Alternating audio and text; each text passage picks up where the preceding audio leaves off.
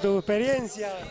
La experiencia, bueno, es bastante durillo. Parece que no, porque dice, bueno, 30 kilómetros, 32, depende a quién, le sale un poco más que menos. Parece que es un poco llevadero. Bueno, 30 kilómetros eso lo hago en un rato, pero tiene mucho, mucho desnivel. Y la curiosa de esta carrera es que tiene todo el desnivel, lo tiene al principio. Te pegas una pasada para arriba. Cuando llevas cargado para arriba, entonces ahora te la pegas para abajo.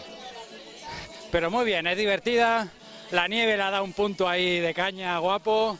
El bar. ¿Verdad? Cuéntanos un poquito, es diferente correr, ¿no? Cuando hay nieve, porque bueno, se...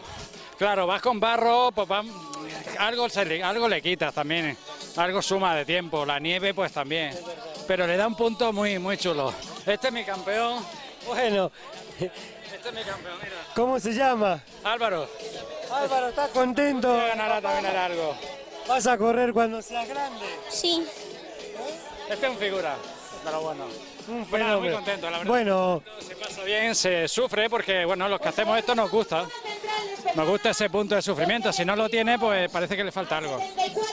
Pero es muy divertida, muy divertida, unos caminos muy chulos, muy montañeras. muy bien, entonces, eh, ¿y qué edad tienes? 46. Para que veas, para y mira cómo está. Cumplido el sábado pasado. Un ejemplo, un ejemplo del deporte, de, de cuidarse, ¿no? De Yo estar- sé que cuando cumplimos años dice, bueno, me tengo que echar a hacer deporte porque si no te caen de dos en dos. De verdad que le saca partido y bueno, felicitaciones en nombre de Cerón TV. Pues-